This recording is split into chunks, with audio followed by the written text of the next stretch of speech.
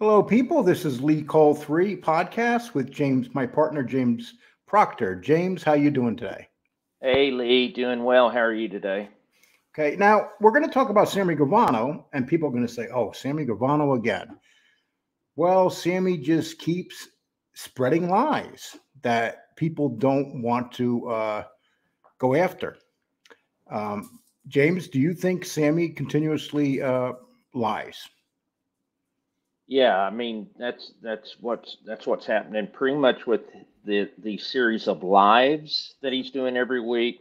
He he ends up at least you know one answering one or two questions a week where he embellishes the truth or he actually just downright lies. And right now, he uh, yesterday he uh, he doubled down yesterday, didn't he?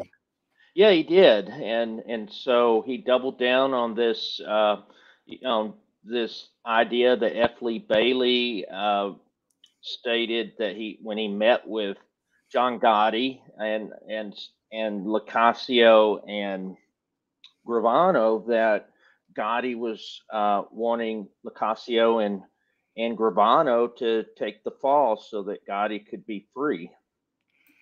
Yeah, and and so he's saying Locascio and him together, you know, and and and that's the thing. Mm-hmm. Um, I think at this point that Sammy already had it in his head that he was going to flip. That's my personal opinion.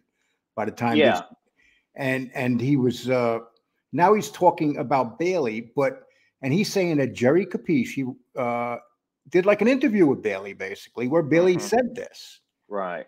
Um, and then Sammy said he's gonna he's gonna prove it by uh, by giving us the interview, showing us the interview. Right. Sammy, I cannot find an interview. Have. I found an article on it? Yes, but not an interview. Right. Okay.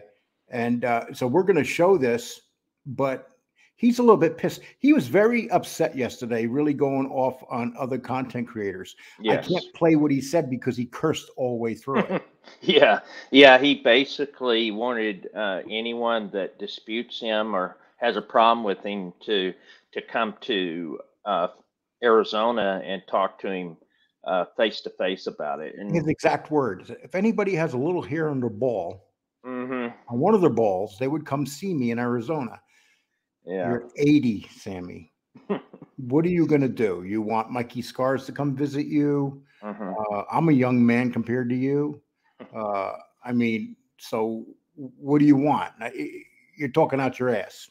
But anyway, yeah. we're going to get into this a little bit deeper, deeper because we talked about this before, but then we really, I, I, I really researched something, and you did some research too. Can yeah. we, can we find an actual article where Jerry Capeci actually interviewed F. Lee Bailey?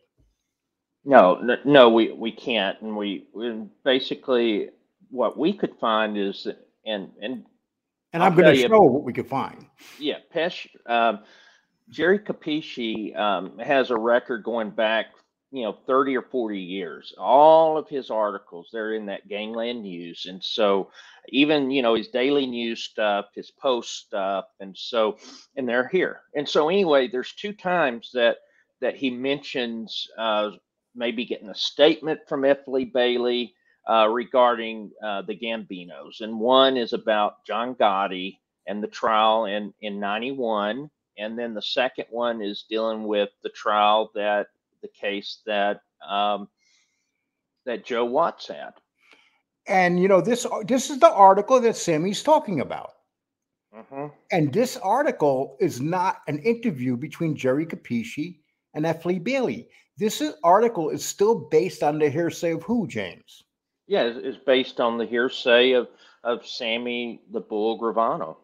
And for some reason, Jerry Capeci's in love with Sammy Gravano. Mm-hmm. And Jerry Capeci takes Sammy Gravano's word as the word coming from God. Yes. That's what it seems like. It's like if you look at anything he's ever written about Sammy has always been positive. Would you pretty much say that? Yeah, at least at least since you know he he ratted, or at least the last 20 years or so, it, it seems like that, especially since he's came out of, of prison in what, 90, in 2018. I could say that. It's It's been uh, positive. Gravano's one of uh, Jerry Capeci's uh, go to uh, resources or sources when he wants to do a story. he and he could probably get a hold of him on the phone and say, Sammy, and like under friendly terms. And, friend, and let's face it, Sammy has a lot of information for a guy like Jerry Capeci. Yeah, But Jerry Capeci's, you know, it's disappointing that that this article is basically hearsay article Mhm. uh, because there's no proof of it whatsoever. And F. Lee Bailey came out later on and said it wasn't true. Right, e- exactly, and and that's what's a little difficult in this is now F. Lee Bailey's in the grave. You know, he's not going to be able to uh, dispute anything today. But yeah, we have stuff.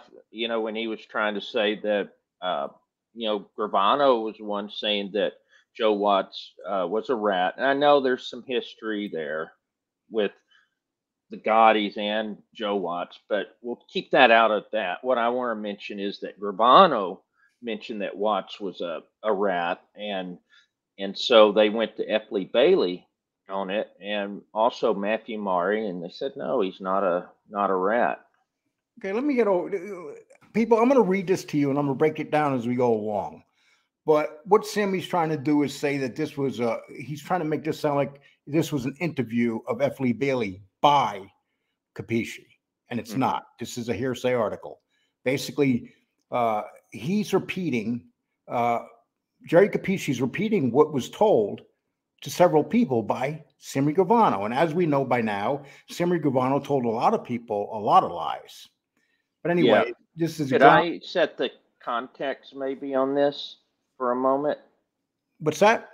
Could I set the context? Oh, of course. Go Yeah. So, so what we're reading, and so this article is actually uh, from a couple of years ago. And anyway, the meeting that took place, there was a meeting that took place. This was in August of 1991. It was at the Metropolitan Correctional Center, the MCC. And so, uh, for those that were following the trial, you'll realize that that in the summer, one of the one of the issues was that uh, Don got the Dapper Don, John Gotti had been um, represented by Bruce Cutler. You know, Bruce Cutler had represented him, and you know, very animated attorney. He had really done, um, you know, a good job in getting him out of uh, previous uh, hot spots. And so, anyway, uh, the judge in this case said, "Hey, you know, you're too close to Saint talking about." a Uh, conflict of interest, basically. yeah, exactly. Saying you're a personal attorney to uh, a mobster and to a, a a mob family, and so now um, John Gotti needs to find a another attorney, and part of that is to try is interviewing potential attorneys to take on the case. Okay. Yes.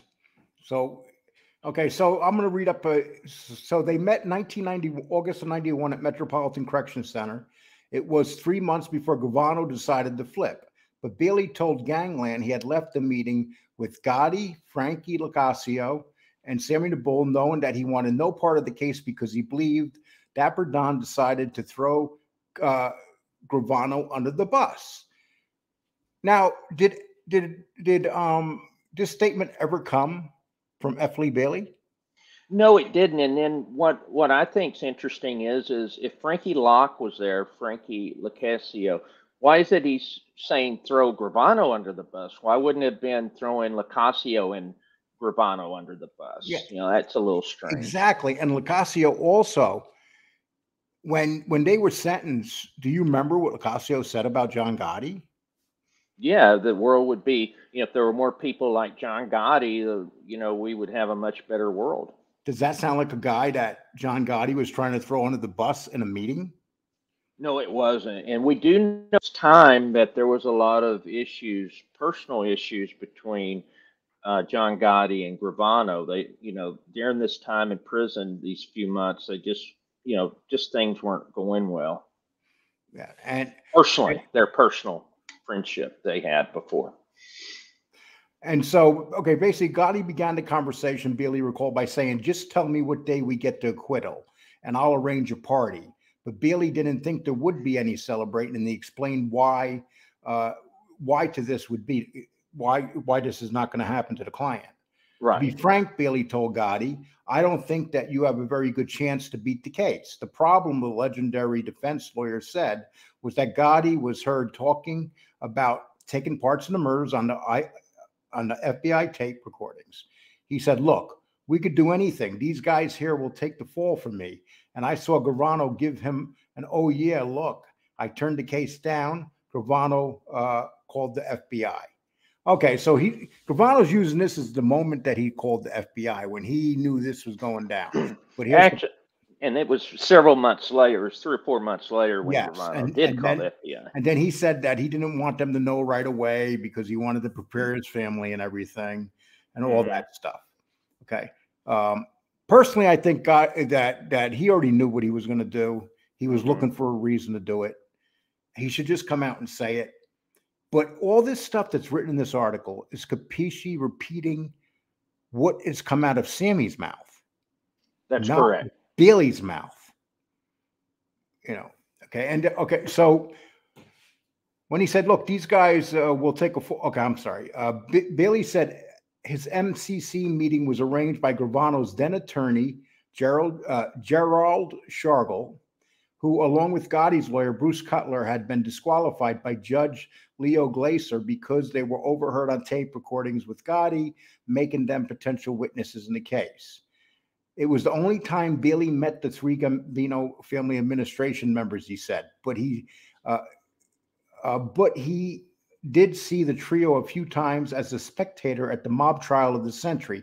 Okay, so when when he went to the meeting, uh, when he went to the trial, Billy, where did what side of the courthouse? What side did he sit on? Did he sit on Sammy's side or did he sit on Gotti's side? I can't hear you. Uh, I'm sorry, I was on mute. So, yeah, he was on Gotti's side. So he said, uh, people asked him, you know, why are you here? he said, well, I'm a supporter of John Gotti, and and he did say, you know, I want to be here at this uh, trial uh, in Brooklyn. So, but he was there on John Gotti's side. Okay. It was the only time. Uh, okay, the number of acquittals in the Eastern District was pretty slim. That's what he's saying. Mm-hmm. But, the, but the truth is that at that time, the the uh, any type of acquittal was slim because of, of the tape recordings more than anything. Yeah, that was that was going to be next to impossible to um, get around, and so that's that was really the the problem that Bailey had with it, and also any pretty much any of the other potential um, attorneys in this case was, you know, that is very damning. The what was heard on the tapes. Okay, and uh, let's see. It said uh, Gravano was a pretty good government witness. Would have enjoyed his confrontation with Bailey. Now, what are they talking about? So, so basically, uh, he was all he was a lawyer for Joe Watts. Yes, is that correct? And he yes. wanted, and he wanted to get get uh, Sammy understand so bad because he, uh, he wanted to rip them apart. But yes, exactly. Right, the day before the, Sammy was supposed to get on the stands, what happened? Yeah, he he he copped a, a plea. So Joe Watts. Um, Joe Watts copped copped the plea. Yes, Joe Watts, and that's and you know understand that that that's common for criminal cases. Yeah. Not and it may not be you know let's take the Bob out of it, but you know you're going to have those negotiations uh, ongoing uh, all the way up to the day of a trial. And so, you know, a prosecutor, only thing they want to they want is to be able to uh, have a check mark saying, "Hey, we won this case." So if someone pleads guilty, there's a plea, then they've won the case. Plus, you know, they don't have to, you know, continue two or three weeks with a trial or two or three months with a trial. They can go to their next uh, case on their caseload. But and Grano, uh, Gravano disputes. Bailey said that it was obvious that he was about to flip. And then Sammy's saying, no, no, he's having me flipping too early. So uh, he's saying that Bailey is wrong about that part, that he that yeah. he wasn't even considering flipping. Uh, mm-hmm. So Sammy's arguing about that. Yeah. Okay. At that point, Gravano continued, I still thought we were fighting together, him, Frankie, and me. That's when they're talking about the meeting between the, the, the that was so the bull the bull recalled. You know, you notice this article, the bull recalled, the bull recalled. He's mm-hmm. recording this article. He's giving all this information to Jerry Capeci. Yes, exactly. And so yesterday, Sammy said that he could show the article where uh, this was actually said by, in person hmm by F. Lee Bailey. So my challenge to Sammy Gravano would be show it. Right.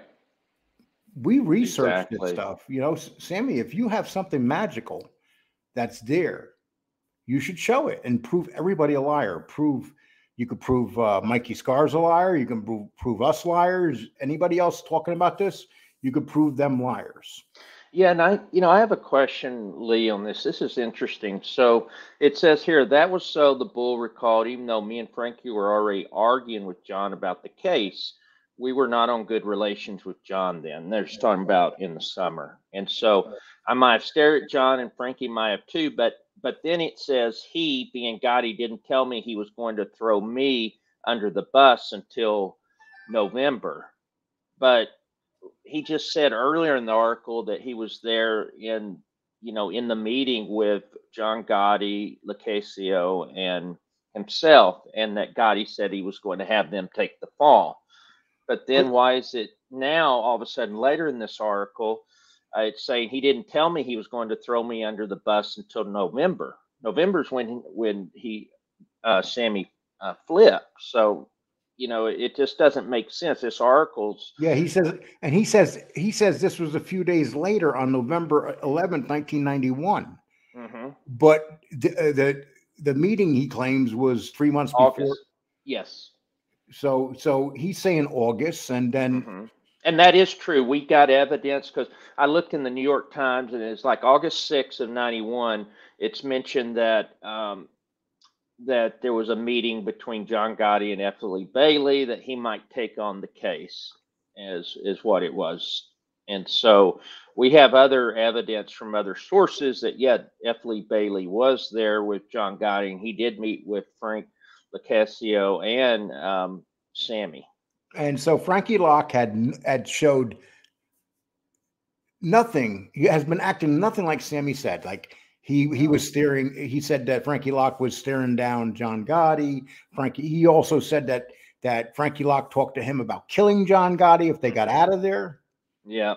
And yet, this great, this unbelievable statement was made by Frankie Loc about John Gotti at sentencing. Oh yeah, he stayed there right right up to the end. He stayed right by uh, John Gotti, and he and he was a co-defendant in that. And Locascio never showed any uh, thoughts of ratting. He never saw any. He never heard anything where he said something negative about about him. So the only thing that we have is is in Sammy's podcast that he's saying, "Oh well, Frankie was upset." I know they had instances, uh, for example, where there's supposedly some oranges that that were uh, that Frankie and had gotten, and then him and um, I guess Sammy had eaten a couple of them while John Gotti was was sleeping, and then John was Yeah, yeah. upset. You know that type of stuff that was mentioned, and so. And that But- may have happened. Who the hell knows? Yeah, I mean, if you're in a it- you got quarters like that, of yeah. course there's going to be stress. what they do, big deal. Yeah, Uh, exactly. But Frankie never, I mean, for someone to make that type of statement, someone that basically gets a life sentence and he makes that comment, you know, wow, you know, it doesn't sound like he was upset with John Gotti. And it sounds like to me that Frankie Loc could have easily become a witness like Sammy, easily. Oh, he could have, uh, Mm. and he could have because he was there. He was the He one was that closer to Gotti than, than Gravano ever was. Yeah, because you remember all the tapes, a lot of it was with Frank, you know, especially the one on December 12th, the real damning ones. That was Frank and Frankie and John Gotti speaking. They Frankie Frankie Loc and John Gotti were friends. They Mm-hmm. were actual friends. It wasn't like Sammy was an outsider that came in. And then Mhm. Sammy said yesterday on his thing that uh, on his show that he was so upset that when when he heard that tape because he loved John Gotti. But Mhm. yet he's talking about he says he loved John Gotti, but he was talking he said that he was talking about Frankie DeCicco of killing John Gotti. Yeah, yeah, and that that's something that I always found was interesting. So basically, he's saying that I don't think that would have happened because understand. So they said so. What happened was that this was before uh, Big Paul had gotten uh, taken out, and so the the thought was that oh, well, Sammy and Frank uh, Frank DeCicco, they were going to um, give John Gotti a chance because Frank DeCicco said, "Oh well, John Gotti could be um, a be a boss, and I could be an underboss, but John Gotti could never be my underboss." That's what he was saying about. Right. And yeah, so anyway, yeah. and anyway, then they're saying, "Oh well, we'll give him a year." And if he screws up or whatever, we don't like him, then we'll we'll take him out. So, you know, number one, we know Frankie died in in April, so that never uh, happened. But you know, to me, what's what's interesting is you know he's already upset all the families by what happened. The the Paul hit did a lot of got a lot of people upset. So you're going to tell me that then in another a few months or a year they would have taken out John Gotti. Uh, I just don't see that happening. I, I, see this as revisionist history in. You mean semi uh, Yes, Sam, exactly. Yeah, I, and, and this is this is what we talk about on here, rewriting history. You right, because he's always saying, on... "Oh yeah, him and Frankie would have taken him out," and then he's saying, "Well, if he'd beat the case, he would have taken out uh, John." You know, he always talks big about that, but you know, he had several years that he could have taken out uh, John Gotti if it was so bad and everything. Then he could have done it, but you know, they were friends supposedly you know, while he was building his empire, Sammy was building well, his empire. They were making money in the nineties. Uh, up oh my God, he, Sammy got made all of his wealth. They were all making. The, the, family was very profitable. There was no yes. reason for anybody to worry about John Gotti because the family no. was profitable. They were the unions were, you know, and you know whether people like Sammy or not, Sammy made a lot of money because he liked to put a lot in his pocket, but he mm-hmm. still picked up a lot of money. Uh, so oh yeah, he, he he did, and he he was very uh, and Sammy. Um, but you know what happened was Sammy did have some construction and some stuff before uh, the hit, but you know John Gotti, all of those people that took part in this um, Paul, big Paul hit, he rewarded them. We know that he gave um, even Joe Watts, uh, Tommy uh, book of, of business for, yep. for loan sharks is worth a million a year. So he rewarded all of those guys. And Watts made, started, and Watts made a lot more money than Bilotti made on it. See, oh, these, yeah, guys, these guys were street guys. They knew how to make money. So, mm-hmm.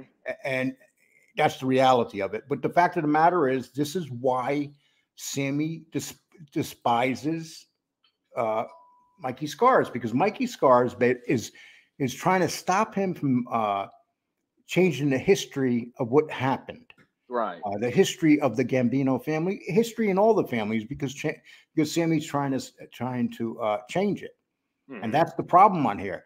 And this is where if Mikey Scars does not come along, there's really nobody credible enough to shut him down because nobody here is, was actually in the same room with him. Sammy Gravano made uh, uh, he made this um, Mikey Scars.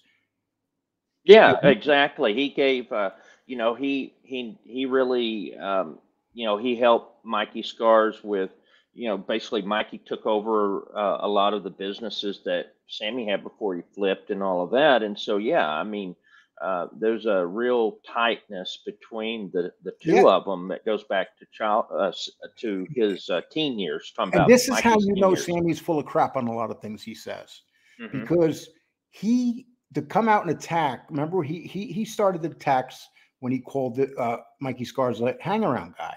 Yeah. So, mm-hmm. but Sammy Gravano, you made him. You sat at the table when you when he was made. So how can you say that? You if, if you made this man, you made a group of men that night. Bobby Borriello, you made John Gotti uh, Jr. You were there, mm-hmm. and he administered the oath. You know, he was the one. And and but this is how spiteful he is. Sammy will say anything out of revenge, just like he tried to call Mikey Scars a hangaround guy, which we all know ain't true. Right. And and that's what started this more than anything between uh, when he came out and attacked Mikey Scars like that. Then Mikey Scars started following, uh, hitting back at him and calling him out on a lot of stuff. Yeah, and, exactly.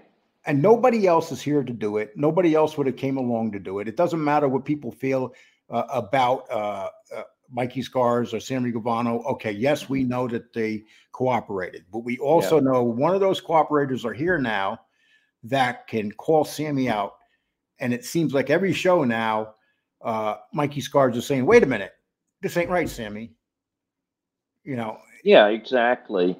And one thing I wanted to mention that I think is important is that you know a lot of our viewers they don't they don't watch Sammy, they don't watch Mikey, but you know we get a lot of comments that people are interested in in what's going on, and so it's not like we're here to platform anybody. We're not here to always do a show on Sammy uh, just because it's he's the biggest name, but Sammy Gravano is making comments that we've been following. You know, so if he's doubling down on on the thing with F. Lee Bailey, uh, why would we not uh, bring it up? You know, that's part of what we're trying to do here is talk about current stuff that these guys are are saying. You know, it's not about platforming anyone, but you know, we've had a couple of comments about that that they don't understand what the motivation is from this. It's not about basically. Here's what it comes down to: if that's how they feel, they don't have to watch. Yeah, because exactly. We all have our shows. We all do them the way we want to do them, mm-hmm. and nobody tells you. You know, we don't have a bunch of guys here that aren't informants. Right. The, it's the informants who are here, mm-hmm. and a lot of these informants lie. Some of them mm-hmm. don't lie. Some right. of them actually put out good facts. Yeah. And uh, they got to live with being an informant. Yeah. That's what it comes down to. Not me. Yeah. I never informed on anybody. Have you ever been a tattletale, James? No, no, I haven't. Even as a kid, I was I was told not to do it. My parents, I was one time was had my next door neighbor a kid, and um, you know he was picking on me, and I went to my parents, and they told me they they pretty much told me you need to go back outside and kick his butt. You know they didn't want to hear it. They didn't want to hear me say anything about my neighbor being a bully. They said, you know, back then that's what you did. You just hit him in the nose and be friends. But, you know, I never got in trouble with the police. So I've never had that part of it. So I know people will talk but didn't you one time have a cop follow you and almost pull you over and give you a ticket? oh, I've been pulled over for okay for tickets. When you get pulled yeah. over, do you get excited like, oh, I'm I'm a criminal now, or no, no, I you know, but Fortunately, I haven't had a ticket in about 10 years. I'm surprised. I had a lead foot for a long time. Can you read that thing rolling underneath here? Yeah, please subscribe, hit the like, and the reminder bell. Thank you. Also, you can donate if you like. Yeah, our Cash App, or hit the the heart button, and it'll and we or underneath the, the Cash App will be there. So, yeah. But people, please please subscribe. Uh, we have a new person working with us now, and they're they're mm-hmm. really. Uh, and we also have a sponsor that's going. We're going to be uh, using on the regular basis, and and that's about ready to happen too. So we have yeah. some stuff happening here to help this channel grow. Right. Um, and that's what really counts. We worked hard to get to this point, didn't we, James? Yeah, definitely so. And, and you know, I appreciate all of you out there that have been you have made it happen. So you know, it really is encouraging, at least to me, and I know with Lee as well, to see the comments, see people tune in to our shows, and you know, it really motivates us to continue to put out good content. And we will be on the beginning of the month. We'll be talking about our sponsor, mm-hmm. and uh, it's a very good move for us because they're doing quite a bit for us. Yeah. Um, and they came to us. We did not go to them, which right. was nice. Mm-hmm. But anyway, James, thank you. I hope. You thank you get, very much. I, I, I know this is a thirty minute video. We just wanted to get it short out there and talk about uh, Sammy and his stories and mm-hmm. Jerry Capeci's second.